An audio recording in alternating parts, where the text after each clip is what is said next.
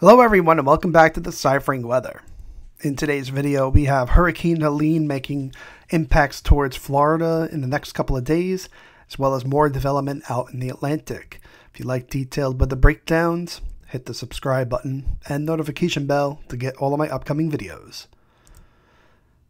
So we're looking at the latest satellite image of the Atlantic Basin thanks to tropicaltidbits.com for Wednesday, September 25th, 2024. Sorry I haven't been making any videos lately. As I've said in previous videos, school has started for my twin girls. Uh, so my school uh, schedule has become very hectic, especially after school activities, and uh, been very uh, hard to come about to making videos lately, helping with homework and other things. But let's get into this video because we have a lot to discuss. The Black Arrow is Hurricane Helene on its way into the Gulf of Mexico. It's going to be bringing major impacts to Florida and the southeast United States over the next few days. We have a tropical wave moving through the Caribbean islands. In red, we have to watch that one because behind Helene, it could develop as well later next week. Then we have 99L in pink up in the North Atlantic, 98L in the main development region in purple, and another tropical wave coming off the coast of Africa in blue. Here's the vorticity, the spin and energy in the atmosphere associated with all those entities that we're tracking. There's also Tropical Storm uh, John over by Mexico, bringing impacts to Acapulco.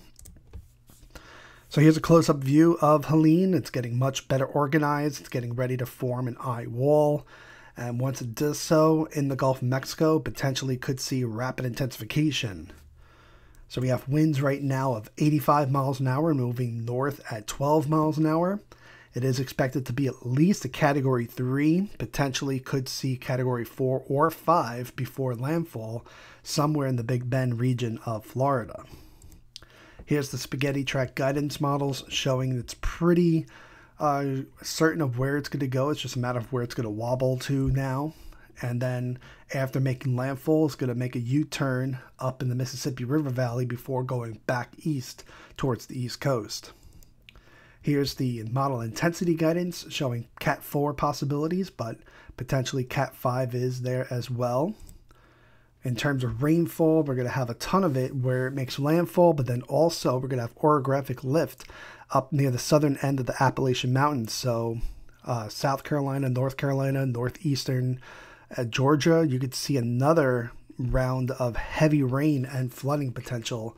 So we have that high risk highlighted in pink, not only along the Gulf Coast where landfall is predicted, but also up in the southern Appalachian Mountains.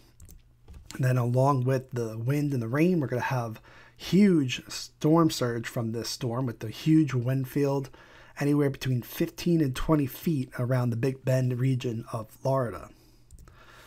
Here's the key messages from the National Hurricane Center regarding Helene. So on the left is in English, on the right is in Spanish. You could pause this to take a chance to read it. Here's a close-up view of our tropical wave moving through the Caribbean islands as we speak. We'll track this one because potentially as it continues moving west into the Western Caribbean, this could develop later on this weekend into early next week.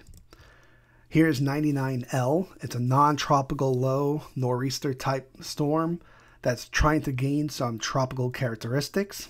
So it could potentially be our next subtropical storm. It's got a 10% chance of doing so over the next two days, 20% over the next 10 day, uh, seven days. Here you can see that the majority of the models take this back towards Europe, but two do curve it back towards the uh, Newfoundland Canada border. So we'll see what happens with this one. Right now, it's strong enough to be a tropical storm once it does gain tropical uh, characteristics. Here we have 98L in the main development region, getting more organized as we speak. It's got a 60% chance of developing over the next two days and 80% over the next seven days this one's more likely to become our next named storm compared to our other two systems at the moment.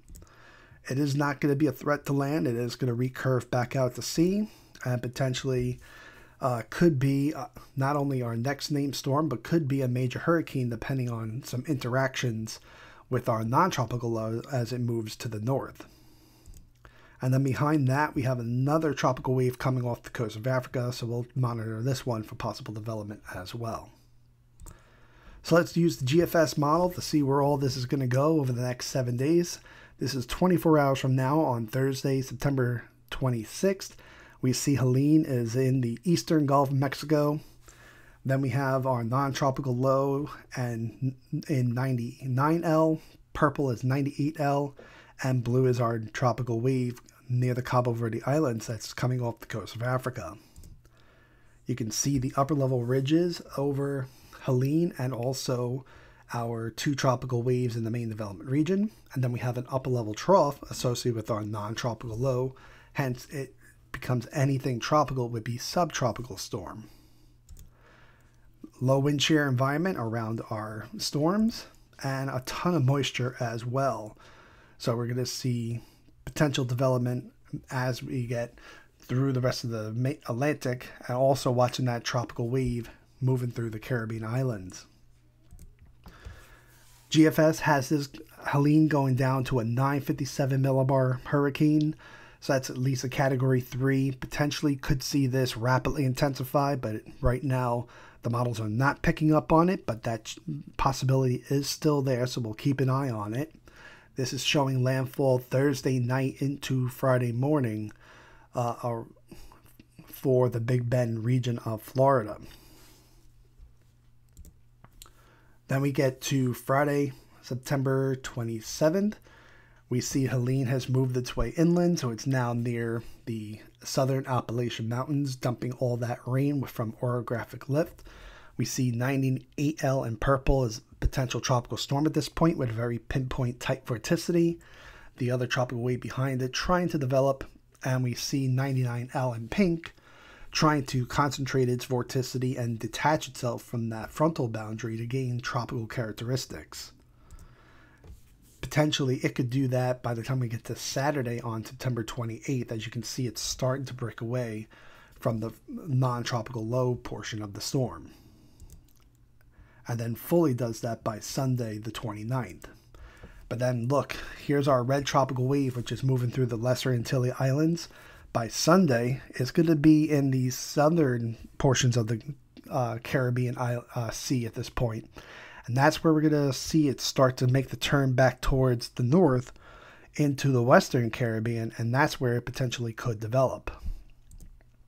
So here is day five, still tracking that red tropical wave. We have our orange tropical wave coming off the coast of Africa at this point. We also see Helene starting to get back towards the east coast of the United States after doing a loop de loop near the Mississippi River Valley.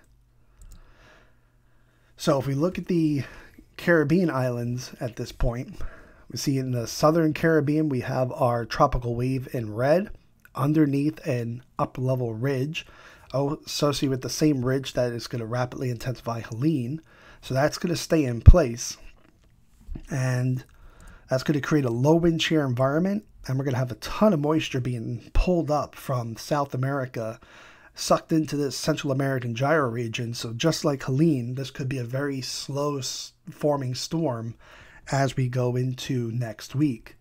So, by the time we get to Wednesday, the, uh, the October 2nd, we could see a repeat potentially of another slow developing, slow moving tropical wave forming in the Western Caribbean. We'll see if that one wants to be deja vu all over again or not. So we'll keep an eye on that wave as well.